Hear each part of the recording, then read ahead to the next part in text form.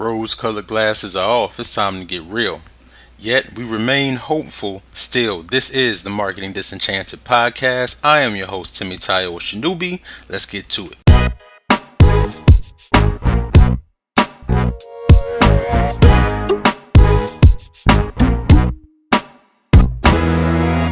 Welcome to episode 30 of the Marketing Disenchanted podcast, the Big 3 Oh, if this was years instead of podcast episodes, we are officially entering middle age. And it's a beautiful thing, y'all. It's a beautiful thing.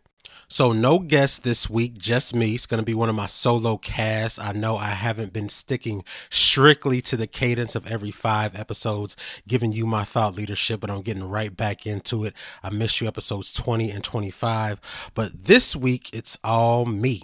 So, I live in Atlanta, which is a hub for a lot of great conferences. And as I'm recording this in late April 2017, just wrapped up the Hope Global Forum 2017, which was its 25th fifth year, y'all. Very big thing, nothing to sneeze at. And the theme for this year's conference was uplifting the invisible class. It was a very powerful gathering, and they talked about creating conditions for upward mobility as well as moving from diversity to inclusion which was a real big one for me because I think we've all had the experience of being invited somewhere but not necessarily feeling included. And a really good way that they summed it up was diversity is being asked to the dance, but inclusion is being asked to dance right? because I mean, what good is having a seat at the table if nobody will talk to you? But something that happened that I don't think um, a lot of people caught or was necessarily on a lot of people's minds was that um, when they talked about the role of small business and entrepreneurship in terms of uplifting the invisible class, oftentimes digital marketing was talked about in very nebulous and often oversimplified terms, right? They would all always hearken to, you know, the micro lending site in Kenya and how that went viral on a TED talk. And that's cool because that happened. But um, oftentimes, um, in my opinion, they reverted to the the digital marketing myth, right? And was which was just, you know, put it online, let it catch fire, and you know, it's all gravy. And again, that can happen, but oftentimes it's not quite as simple as that. We've all heard the stories. New mom starts a blog while on maternity leave and now she's a multi-millionaire. Or the pizza boy with just a GED who now makes more than all of his teachers combined. Or that one guy that got stricken with some calamity that left him bedridden for six months or something like that. You, you get my point. Insert cliche here. They would all have you believe it's as simple as getting online, finding success, and living happily ever after rinse and repeat. And eternal optimist that you are, you think, why not me? And you fall for it hook, line, and sinker. You quickly find yourself completely overwhelmed with digital business operations, disappointed, and ultimately disenchanted with the whole online success fairy tale. Well, friends, you're not alone. Now I can hear the groans of objection now. You're just being negative. Those stories are real. That really happens to people. And yeah, that has been known to happen. And people have also been known to win the lottery or marry their high school sweetheart after falling in love at first sight. But then you have the rest of us. Those stories often leave out the lucky breaks, support systems, and hard skills needed to truly achieve success online. I don't. Through the Marketing Disenchanted podcast, I've connected you with top thought leaders and real online professionals, not outliers who don't recognize themselves as such. Through these candid, no BS conversations, we discuss what it's really like to achieve success online and give you the tools and strategies to do the same. Did you know I'm also available to you for speaking engagements, digital discernment workshops, and even one on one Skype or telephone consults? Go to consulttemi.com and book me for your next event. That's consulttemi.com and click on the speaking tab. You see, being a real digital marketing professional doesn't have to be a pipe dream left unfulfilled, but you gotta take the rose colored glasses off and get real. So go to consulttemi.com to book me, and I look forward to seeing you in person. And remember, Tactics change, but principles don't. So don't get bewitched by the shiny ball syndrome. See you soon.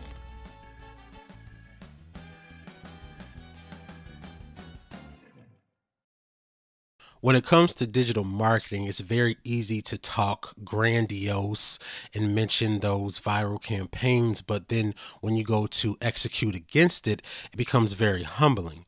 And um, no one's really talking about, or at least I don't think it's on enough people's radar, is the severe lack of diversity in professional digital marketing, as well as the access to capital issue for minorities in becoming professional and this was originally posited on the Marketing Companion podcast by Tom Webster and Mark Schaefer. But we are quickly entering the era of the haves and the have nots in digital marketing because the long and the short is for a very long time, big business was not serious about digital marketing. They sort of treated it like a fad and was waiting for it to kind of blow over, especially in terms of social media. But now, big business is serious about digital marketing, especially social media now that Facebook has gone public. But what's been happening is that the bulk of the digital marketing ad spend is going toward Facebook and Google. Like it's not even close. Just between those two web properties, they're gobbling up about 85, 90 cents of every dollar spent on digital ad spend. And the laws of supply and demand dictate that as there's more competition for a limited amount of ad inventory, that the cost per click is going to rise. And we have seen that in the research by WordStream, eMarketer, and many others that over the years, the cost per click has steadily been rising. And so, um, what can theoretically happen if we're not careful is that as those corporate dollars from Coca Cola, Nike, etc., start piling more into Google and Facebook and driving up the cost per click, we'll have a situation where small businesses get pushed out and it's no longer viable for them to use those platforms as advertising means. And I've begun asking this question um, on my show when I interview guests, and most guests um, are confident that the internet will stay true to its disruptive roots. And when we do approach a point by where everything on Facebook or Google is just completely saturated, that something new will come along that small businesses can take advantage of. And while I hope that's the case, um, just speaking personally in my practice as a digital marketing professional, I haven't seen any evidence of that yet. Um, I have to break it to a lot of small businesses who are still operating under the mindset of, you know, 10 years ago, thinking, hey, I want to do this on Facebook and I want some advertising on YouTube and blah, blah. And it's like, okay, yeah, I can do that for you. That'll be $10,000 a month they don't have $10,000 a month. And so now we're right back to the whole access to capital issue. And um, in terms of digital marketing, I, I, just don't feel that this has been given a whole lot of attention because, and this is something I'm just as guilty of as anybody else. People go back to this digital marketing myth and think that it's just this grandiose place where the playing field is level, there's no racism, and it, it that that that's just not the case. And I was just as guilty of this as anybody. If you know my story, if you go back to episode 000, I originally came to digital marketing because of name discrimination, right? my whole name, Timmy Temitayo Oshinubi, is kind of weird here in the States, which is ironic because over in Nigeria, where my father's from, um, it's like Bob Smith, right? Very, very common name. So I originally came to digital marketing as a means to try to avoid name discrimination and, and other pitfalls of corporate life. I ran headlong into, you know, network marketing, a bunch of other stuff, which I won't go back through. I'll, I'll let you listen to episode 000. But something else is really insidious that's off a lot of people's radar is that as corporate dollars have been infecting digital marketing, so too has corporate culture. And as is the case in a lot of corporate settings, certain types of people are not accepted. And um, it's a very white arena. And, and diversity is an issue. Back in December of 2015, um, Sam's Club CEO Rosalind Brewer made a comment about how um, their vendors weren't very diverse. And in one vendor in particular, if you go five levels down in the org chart, it's just all white males. The internet blew the hell up, accusing this woman of being a racist. Um, friends over at Breitbart had a meltdown, as, as is usually the case.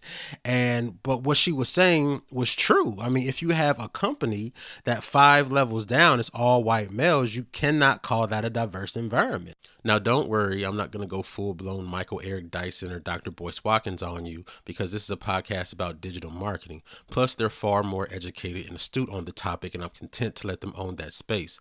But suffice it to say that there is such a thing as a wealth gap as well as a digital divide, and black people tend to be on the wrong side of both.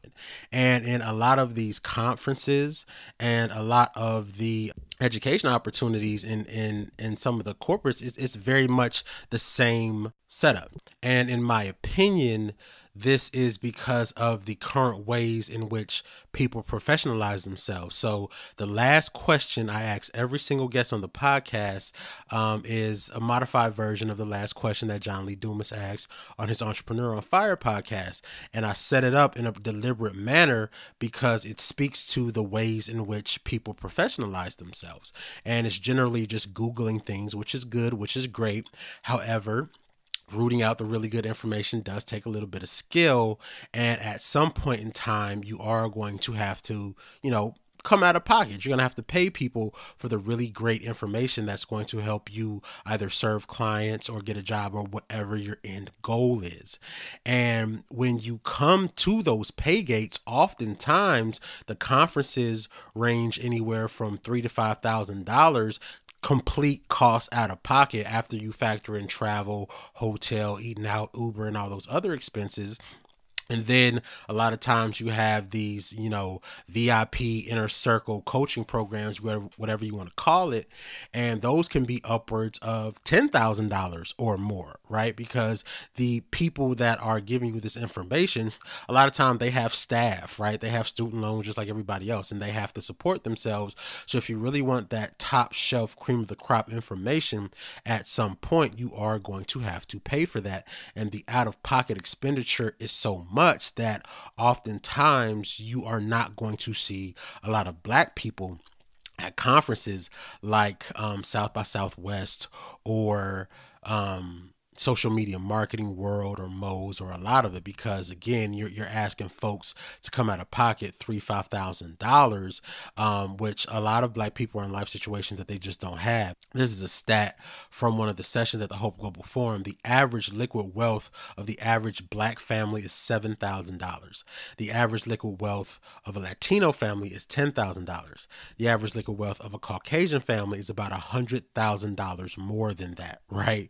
And so when you're you're talking about people who only have between seven and ten thousand dollars of liquid wealth, total household income, you can't ask them, or or rather, I should say, you shouldn't be surprised when they're not able to afford a lot of the out of pocket expenditures in so in social media marketing world and these coaching programs, and that's a problem that not a lot of people are talking about, which is one of the reasons that I do not support the whole uncollege movement. Because while, yes, college student loan debt is a huge bubble, um, when speaking in terms of access to capital, if you take Sallie Mae away, a lot of black folks simply are not able to jump those pay gates. They, they just can't. And if you look at all the imagery, from a lot of these conferences, and I'm just using social media marketing world as an example, you you just aren't going to see a lot of black people. You just won't. And so I actually made a video about this um, called um, What Diversity in Marketing, Jason A. Miller, because Jason A. Miller from LinkedIn wrote a blog post about diversity in marketing, which um, I'll link up both that article and my video response to it in the show notes. But um, yeah, like like this is something that that really isn't being discussed, and I, I think it needs to be on the radar of a lot of people because again big business was not serious about digital marketing for a very long time but now that they are they're dumping their elephant dollars in the pool and driving up the clicks and it's making it less viable for small businesses. And then when you look at professionals in digital marketing just because of the ways in which one has to professionalize themselves um, you're you don't see very many of them in corporate settings and you don't see very many of us in um, conferences and and it all boils back to access to capital. And so um, i invite you guys to weigh in on this conversation respectfully of course because trolls do get blocked. Um, please shoot me an email, Temi at consulttemi.com. That's T E M I at consulttemi.com. And I would really like to hear you guys' thought and your feedback because, again, um, Hope Global Forum, amazing gathering, really, really heavy hitters. CEO of MasterCard, Arianna Huffington couldn't make it, but she sent a video. And, um, but again, I, I think that people really think of digital marketing in really, you know, verbose, grandiose terms without realizing how much it costs to do a PPC campaign properly. It all goes back to access to capital. And that's something that, you know, black and brown people tend to be on the wrong side of. So, thanks so much for listening. I look forward to your feedback, and I'll see you next week with another episode interviewing a great guest. Thanks so much for supporting the show. 30 episodes, y'all. Big deal. Let's get it. If you've enjoyed this episode of the Marketing Disenchanted podcast, consider becoming a patron at patreon.com forward slash marketing disenchanted. Your support helps with hosting the audio files, upgrading audio equipment, and so much more. And between you and me, my pledge levels are killing them. If you go look at other people's pledges and come back and look at mine, I'm a professional marketer, so you know I like my swag. I got t shirts, USB thumb drives, not to mention my awesome products. So go to patreon.com forward slash marketing disenchanted. Your support is greatly appreciated. Thank you for doing me the high honor of listening to the very end. Please subscribe in iTunes, Stitcher, or your favorite podcasting app. Leave a five star rating and write a review telling people about my unmitigated awesomeness. It really helps out with getting the show shown. Follow me on Twitter at Tembo8482. That's T E M B as in boy, O 8482. Or connect on LinkedIn, and I'll have my LinkedIn description in the show notes. And I'll see you next week.